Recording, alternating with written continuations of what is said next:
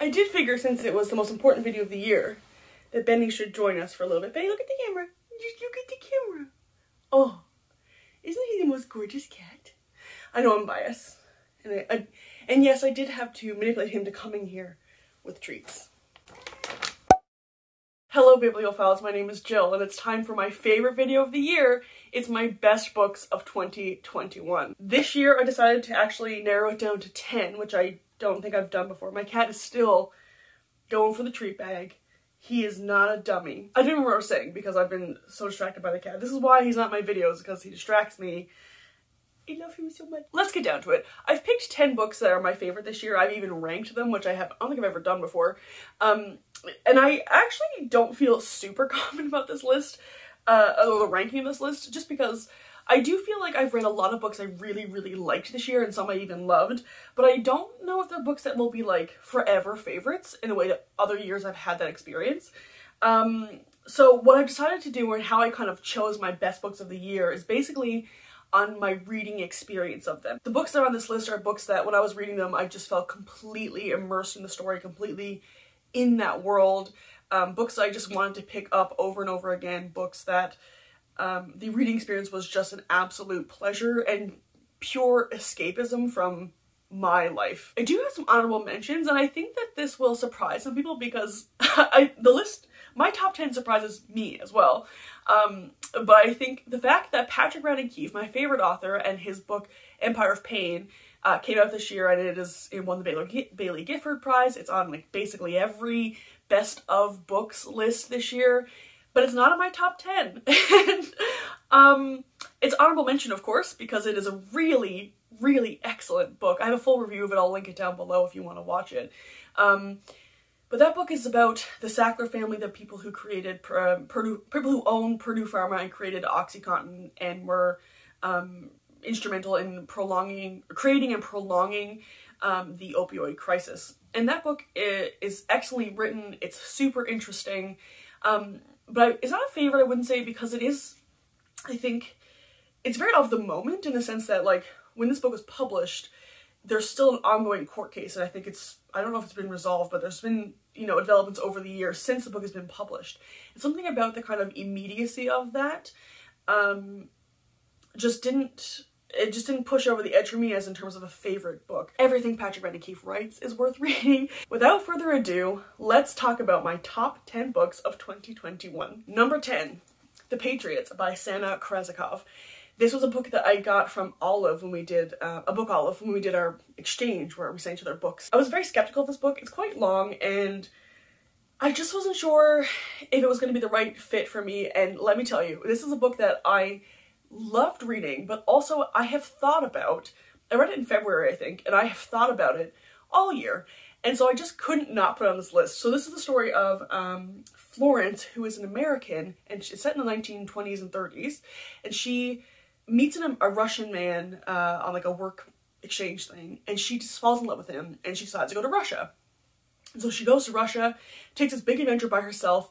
She actively goes to the Soviet Union, leaves, uh, you know, capitalist America, goes right to the Soviet Union, and she loves it. She falls in love with the Soviet world. And I think this, and so this also follows her son, um, you know, in, in 60 years later or whatever it is. So we do have like multiple family generations, again, something I love, you know, spanning a long period of time, something I love, set in the Soviet Union, something I love. So all, all these elements are very much me. Olive knows my taste very well. But what I loved about this book was that I, I loved the trajectory of following Florence's feelings about America, about Soviet Union, about what the meaning of home is. And there's all these people who kind of come and go, and we kind of see her love of the system changing over time.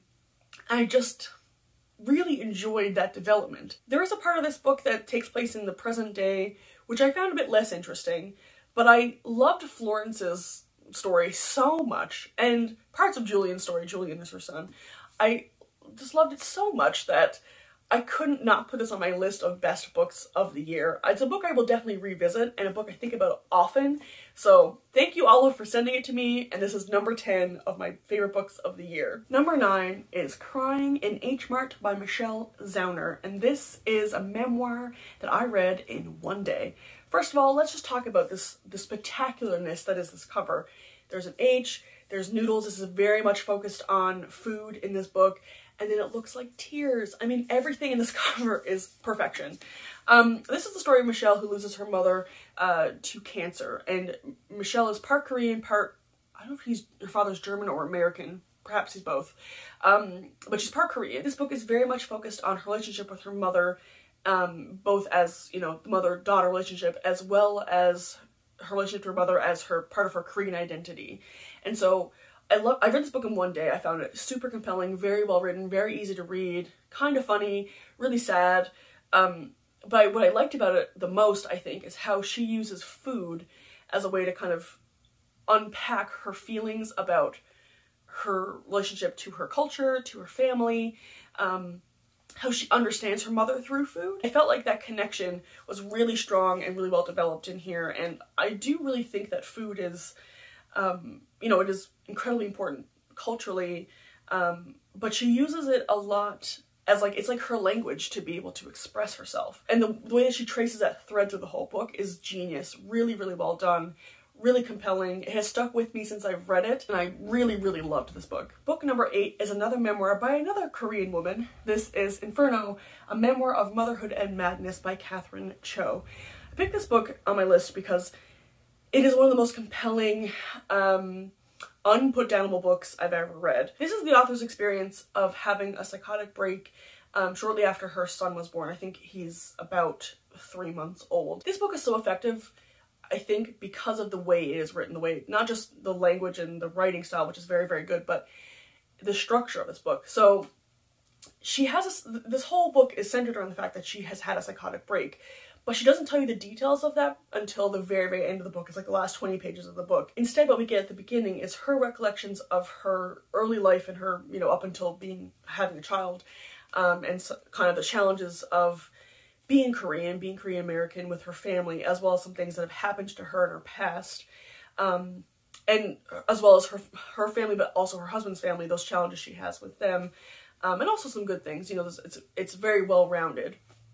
Um, but also we we get her insights about being in a psych psychiatric hospital and her trying to piece together what has happened, and her feelings around um, trying to remember uh, what happened and how she feels about her son and about her family and about herself. And so we have those kind of two things kind of interjecting at the beginning of this book to shape the narrative that leads us up to her psychotic break. I think it goes a long way to destigmatize the idea that like, oh, people have psychotic breaks or people who are like, um, I don't know, just like so people have lots of mental health challenges or very ill or like who are on drugs or whatever like you know the kind of the stigma that we have around something like the word psychotic break she gives you this this really well well-rounded picture to show you like the complexities around mental illness. And i thought this was really effective really um really challenging to read in some ways. Like the very end is very difficult to read but also just i couldn't put it down. Very compelling well written and i'd like to read more from catherine cho. I don't know if anything else will come out from her but i just found this absolutely unputdownable. Book number seven is one i genuinely never thought I would see on any list for me ever. and I am as shocked as you are. This is The Story of a New Name by Elena Ferrante. This is translated from the Italian by Ann Goldstein. This is the second book in the Neapolitan novels. I always want to say Napoleon, but that's not right. One of my reading goals this year was to read the first book, My Brilliant Friend, in this uh, quart, I was gonna say quadrology, quartet. I liked My Brilliant Friend. I buddy read it with Jennifer Tibbets, um, but I don't know if I would have picked this up right away, but she had said like, let's read the second one this year. And so because we had planned it, uh, I decided we I read it. And I can't believe that I almost didn't pick this up this year because this book, listen, it is, I don't even have the words for it because it is, there's, there's a part of the middle part of this book, um, I don't, I, I don't want to say too much, I guess, because it's the second book in a, in a quartet, so you don't want to like, um, give a lot away, but also everyone's already read this. I'm like the last person on the planet to read this book. But the way that this author captures um, the feelings of like betrayal of youth is just like it hit me right in the gut. I was like, I feel this. I feel this in my soul. Um, the sense of like you feel betrayed, but you haven't been betrayed by anyone, but you've betrayed yourself. And that kind of that whimsy of youth, like fully captured in here. I actually think I hate everyone in this book. Um, but that it doesn't make them any less compelling. I wanted to know everything was going to happen to everyone. And this book is something that like I felt completely immersed in this world. I when I was reading this book, I was like I was in Italy. I was in this small little town and like I was eating those prosciutto sandwiches and I was like strolling along the piazza and like I just had this totally took me away into a different reality. It gave me that complete immersive experience that I was really craving this year. And it also like emotionally destroyed me to the point where I had to put it down for a while because I was so emotionally distraught by this book. I can't not acknowledge that level of like tugging on my heartstrings. Like I I, and I put this down and I like almost immediately picked up the third book and I decided to wait because I wasn't sure I was emotionally ready for it, but I like was so compelled to know what was going to happen next. I really just needed to keep reading and to me that's again like a marker of like a really excellent um pr propulsive narrative. So yeah, this is my number, what number is this? Number seven of my favorite books of this year. Book number six is Unsettled Ground by Claire Fuller. This is a book I've talked about kind of throughout the year. And I guess I kind of realized when I was putting this list together that like, oh, it's a favorite. it's a book that I really, really enjoyed reading. This is the story of Jeannie and Julius. They're twins and they're in their, I think they're 50 or 51 and their mother dies of a stroke. And in the very first like pages of this book. And so then they are people who have lived alone, they've lived with their mother uh, for their entire lives, and now that she's gone, they're kind of left to their own devices. And there are people who, um, they're extremely poor. They've kind of lived off this land. There's a story about how they got this land, and they're trying to figure out how to survive without their mother, who protected them for so long from so much information. Protected is an interesting word that we kind of explore in here, where it's like, did she protect them or did she really screw them over? because they are really left to figure stuff out and they don't have all the information they need to figure it out. This is really the story of a coming of age at 50. I really liked the way that their life is explained in here. They are extremely poor, but they don't know, I guess they know they're poor, but they don't really realize the complexity of their poverty until their mother is gone and how they kind of navigate that. And then also, as adults who now don't have their mother, how their lives kind of deviate in ways it didn't before. I think this is a really beautifully written novel, and the more I talk about it, the more I really can't wait to reread it. Also, this is probably one of my favorite covers of the year. Yeah, one of my favorites this year. Getting into the top five, this is book number five, and this is a book, again, I did not foresee making it onto the top 10, let alone the top five. But I haven't stopped thinking about the reading experience of reading this book, and it is Great Circle by Maggie Shipstead. First of all, can we talk about these unremovable stickers. Listen, may 2022 be the year of removable stickers on books. Anyway, this book was shortlisted for the Booker this year. I probably wouldn't have picked it up except something about it was like really compelling to me and like, just, just like the title or like, I don't even know what it was. Maybe it was just like the enormity of this book. It's like 600 something pages. And um, so I had to buddy read it with um, my friend Aaron and Rachel. And I just loved reading this book. I loved it. It's again a sweeping narrative of these these two siblings. I can't remember her names. Marion and is it Peter? Jamie.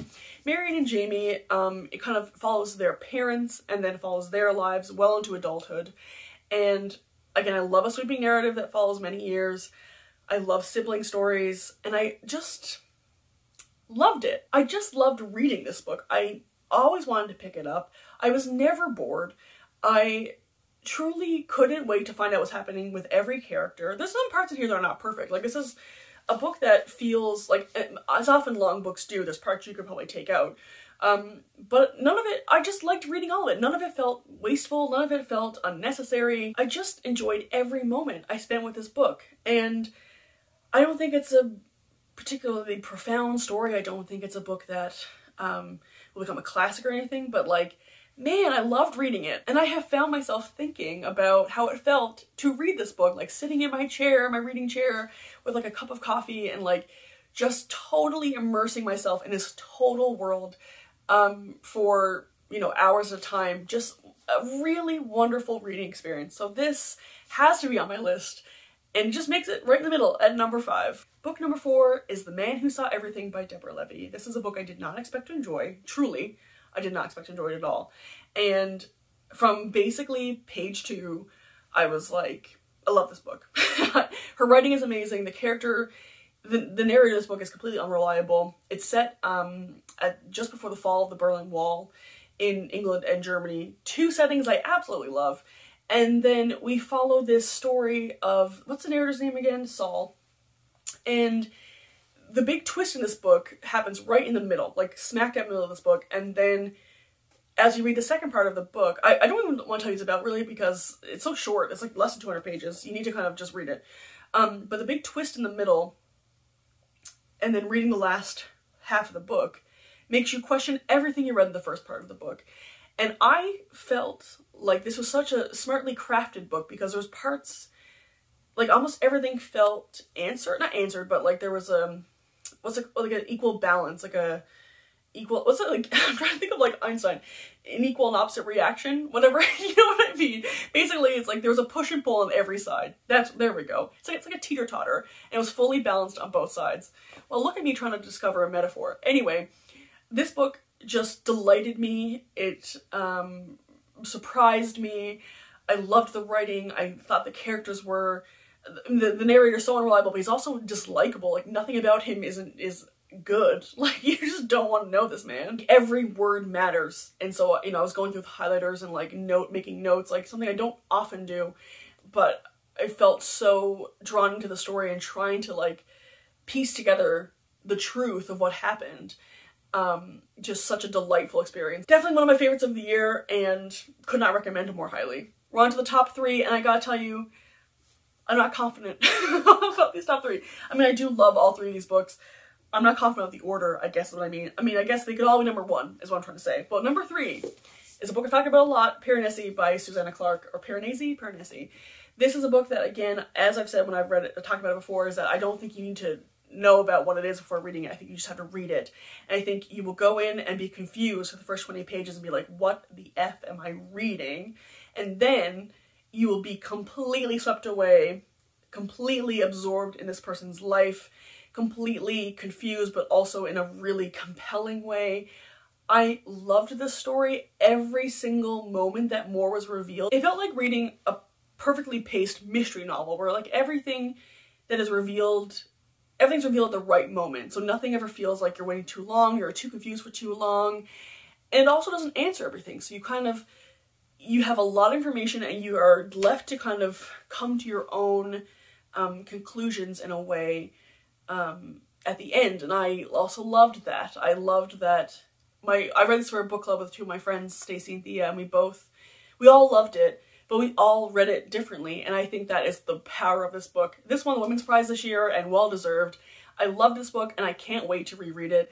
It is, I think, a masterpiece, and the more I'm talking about it, maybe it is my number one book of the year, but I don't know. This is a book that um, I often say that a book that you want to read again for the first time. Like, I wish I could have that experience again of like the awakening of moving through this book, the pleasure of that. I would love to have that experience again, and that to me is a marker of like a really solid, strong book. So yeah, this is definitely in my top three. I haven't put it number three, but you know, one of the best books of the year. Number two is Why Fish Don't Exist by Lulu Miller. This is a story of loss, love, and the hidden order of life. I haven't talked about this book really anywhere because when I read it, I felt it felt so close to the bone that I just didn't have the language to really talk about why this book affected me so strongly. It really did.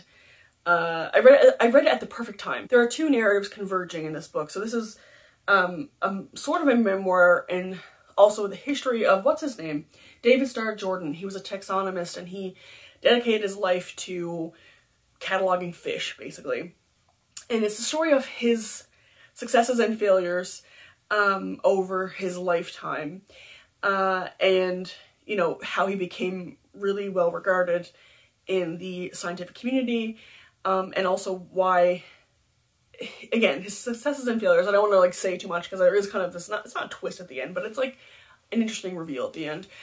Um, so that's it's a story of his life, and she Lulu Miller is like fascinated with his life um, and looking at him as this successful person in conjunction, in parallel to her own life, which she, for from a lot of her life, feels like a massive failure. And she kind of explains that through like her childhood and through her teenage years and then through adulthood, through like a very serious breakup that left her devastated for many, many years.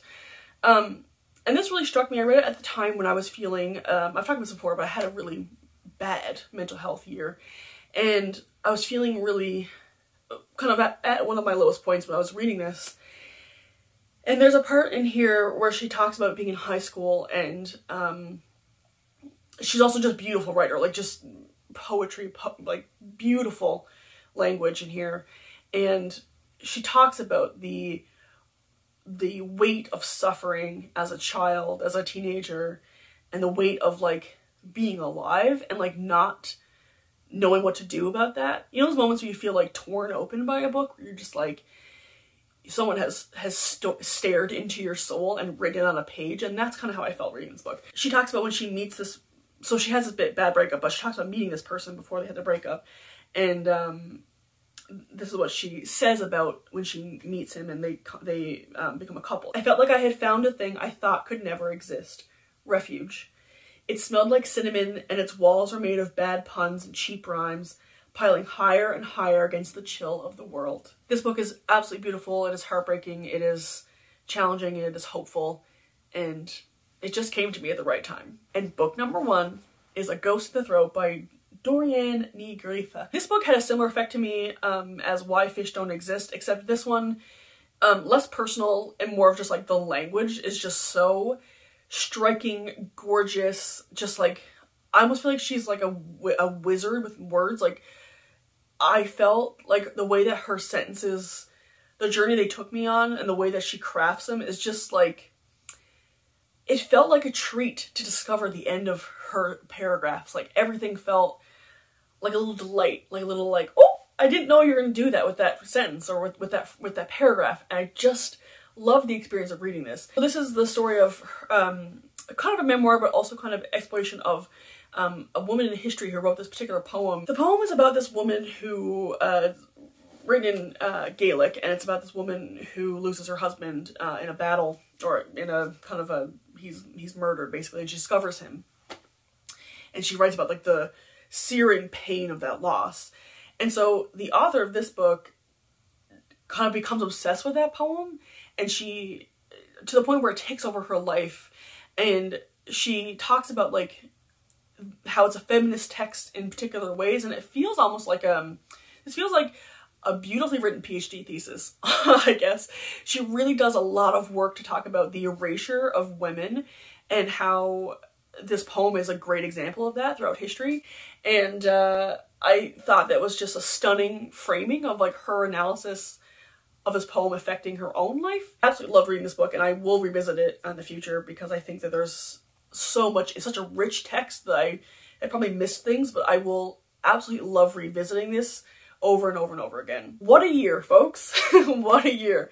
I'm really looking forward to reading in 2022. I have my first couple books picked out already for the year, but I'm also glad to have um, had some excellent books cross my path in this year. I would love to know if you've read any of these or what your favorite books of the year were. Let me know in the comments down below. Happy New Year, and I will see you guys soon. Bye!